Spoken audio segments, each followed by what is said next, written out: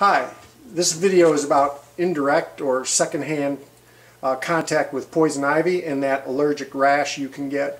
This video is not about the science or the medicine of, of like identifying poison ivy or the compounds in it, other than I drew this quick little picture for illustration.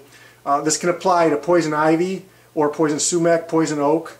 Um, there, there's an oil in the leaves, uh, it's called urushiol, and that oil can get you know transferred from the leaf to your skin and it can also be transferred uh, secondhand and that's more what this video is about.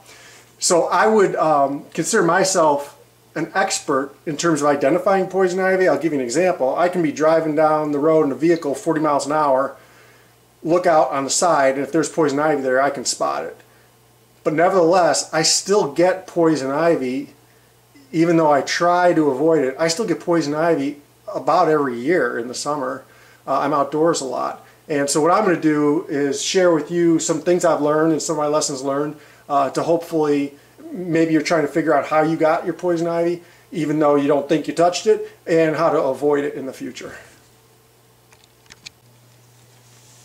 All right, so I'm going to tell you a couple different ways that um, I've found to get indirect poison ivy.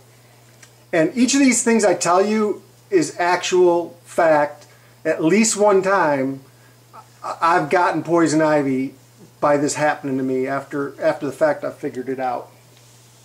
So you could be like outside, didn't see poison ivy, didn't touch poison ivy, or you know you avoided it all day long. But then you know two three days after you've been out you see that rash and the itch and you know what I'm talking about. And once you start to get it you can get it real bad or it can spread even. Um, so one thing I found is on your shoes and on your gloves you know you're you're walking through leaves you're walking through fields and you rub up against the poison ivy and the oil gets on there. And actually the, the real thing that caused me the most trouble is tying my shoes. Okay?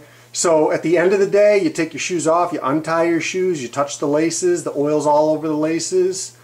Um, or you're out in the field and your shoe comes untied and you tie your shoe and the next thing you know you don't realize you're touching your eye or you're scratching your arm and, and, and it just starts to spread and you don't even know it for about five years in a row, I got poison ivy and I couldn't explain it. And it was from basically touching my shoes and taking my shoes off. I could be at the bottom of your pants leg as well. Okay, so what I've done before I go on a hunting trip, simple thing, I bring a pair of latex gloves, a box of latex gloves. Every day I use a different pair of latex gloves, pack a pair of latex gloves. Before I take my shoes off, I put on my latex gloves. Now, if you're allergic to latex, you'll you'll know that. You have to avoid that. Find an alternative, a, a substitute. Okay, but um, just what I mean is, you know, use these gloves whenever you're going to handle your your clothing, especially your shoelaces or or your hunting gloves.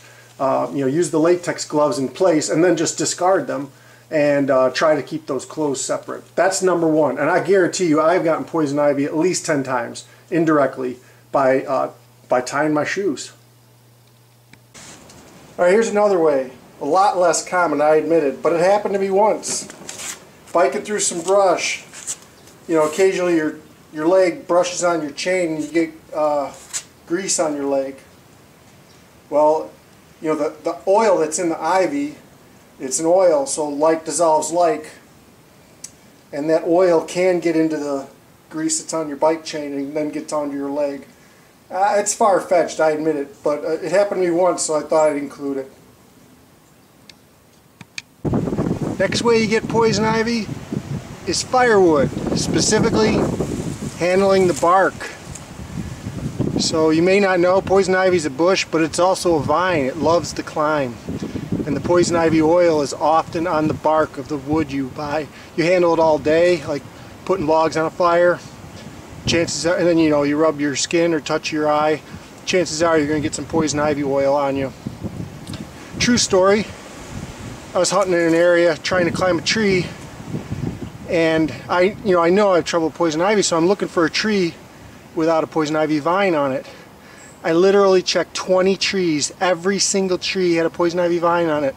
I finally, I just decided, you know what, I chopped the vines and I said, I'll go hunt somewhere else and I'll give it a year of you know the rain and the snow um, cleansing the tree. And I'll come back next year and hunt this place and uh, let the poison ivy fade away. So bark on trees. This is real common. This can happen a lot. Just pay attention to that. And lastly the cat. Yes true story.